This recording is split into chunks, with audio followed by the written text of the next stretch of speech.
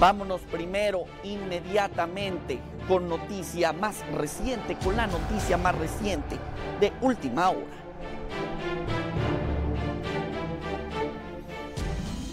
Y mire usted, el día de hoy un gran jurado en Kentucky presentó cargos contra uno de los tres policías implicados en la muerte de la paramédica Breonna Taylor el pasado 13 de marzo. La joven de 26 años de edad murió a causa de disparos de policías que llegaron a su hogar por un caso de drogas. Una información de Marinette Bereni balazos le arrebataron la vida a Breonna Taylor, de 26 años de edad, durante una orden de registro en su vivienda en Kentucky. Este miércoles, un gran jurado decidió acusar a un policía de cargos criminales por su muerte. Según dictó la jueza del condado Jefferson, el ex policía Brett Hankinson se enfrenta a tres cargos de primer grado tras poner en peligro sin razón a una persona.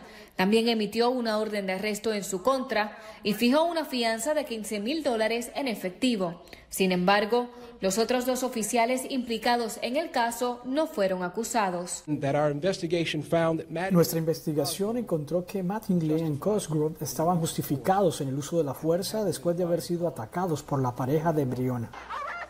Tras la controversia y las manifestaciones que desató este hecho a nivel nacional, el agente Hankison fue despedido en el mes de junio a través de una carta que señalaba que había violado las normas del Departamento de Policía tras mostrar extrema indiferencia por el valor de la vida humana. Este es obviamente un día que la gente de nuestra ciudad y nuestra nación ha estado anticipando. Hemos visto emociones fuertes durante casi 120 días donde la gente ha pedido equidad racial, la reinvención de la seguridad pública y justicia para Brianna Taylor. El alcalde Greg Fisher hizo un llamado a protestar de manera pacífica al tiempo que declaró a la ciudad de Louisville en emergencia. También emitió un toque de queda por 72 horas a partir de esta noche, además del cierre al tráfico en el centro de la ciudad. Durante los últimos meses, el departamento ha estado trabajando con la comunidad para mejorar nuestras políticas y procedimientos a fin de reflejar mejor las expectativas de la comunidad.